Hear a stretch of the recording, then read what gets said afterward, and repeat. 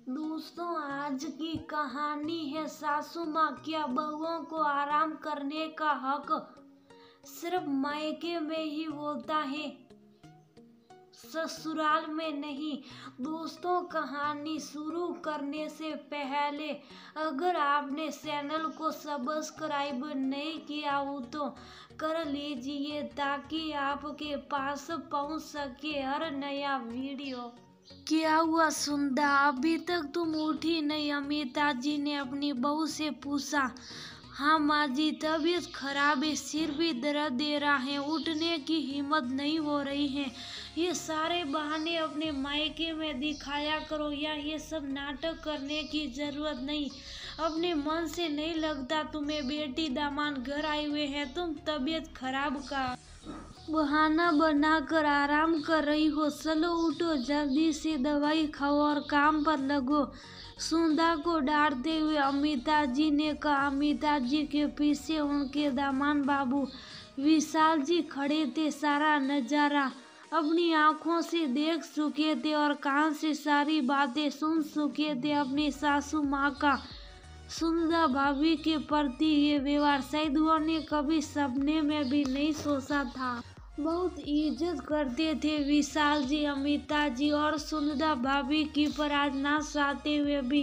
वो शुभ ना रह सके। माँ जी, आप ये भूल रही है कि आपकी बेटी भी हमारे घर की बहू है। मेरे सामने आप भाभी जी के साथ इतनी कठोरता के साथ व्यवहार कर रही हैं। जरा अपनी बेटी लता से पूछिए। जरा सी सीख आने पर भी मेरी माँ कैसे उसको प्यार से पूछती है कि तुम्हारी तबीयत खराब तो नहीं।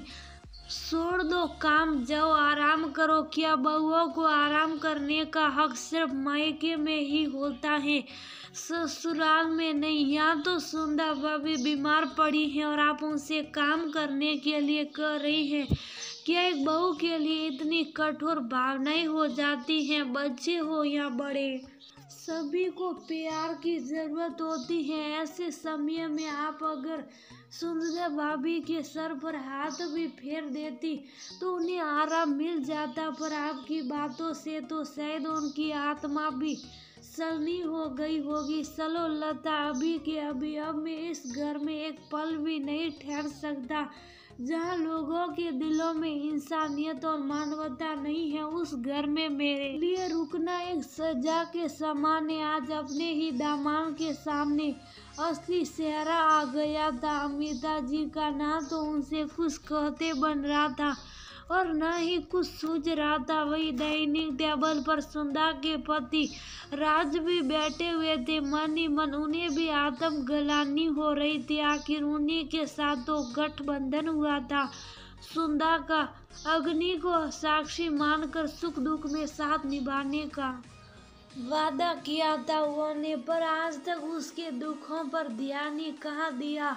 उनकी आँखों के सामने वह नज़ारा घूम गया जब लता की सगाई हो रही थी। सारे मेहमान घर पर आए हुए थे। मुश्किल से से महीने की ही तो थी।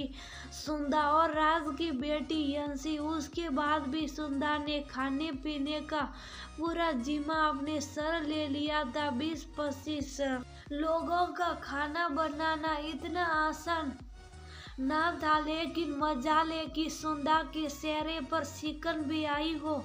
लता के ससुराल वालों की नज़रों में सुंदा की एक जिम्मेदार बहू की छवि बन गई थी। विशाल जी ने भी सब कुछ अपनी आँखों से देखा था, इसीलिए आज अमिता जी का सुंदा भाभी के लिए इस तरह से बोलना विशाल जी सहन नहीं कर पाए, जहाँ सुंदा के लिए राज को बोलना है था वह विशाल जी ने आवाज़ उठाई। विशाल को रोकते हुए राज ने कहा, रुक जाइए विशाल जी, आज आपकी एक आवाज़ ने मुझे मेरी गलतियों का एहसास दिला दिया। सबसे बड़ी गलती तो मेरी है, जो मैं ही अपनी पत्नी को आज तक उपेक्षित करता रहा। शायद हम पुरुषों को यही मानसिकता होती है कि बहु सिर्फ़ परिवार वालों की सेवा के लिए ही होती है। उनके दुख से हमें क्या वास्ता?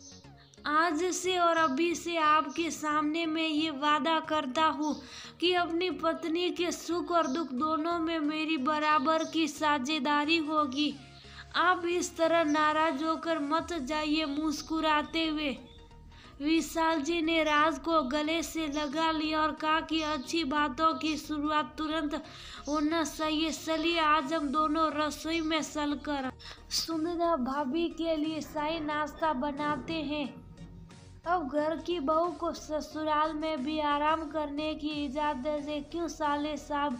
सही कहा ना मैंने। अमिता जी भी अपनी भूल सुधारने के लिए सुंदा के सर पर प्यार से हाथ फैर रही थी और अब तक अपने किए हुए व्यवहार पर मन ही मन शर्मिंदा हो रही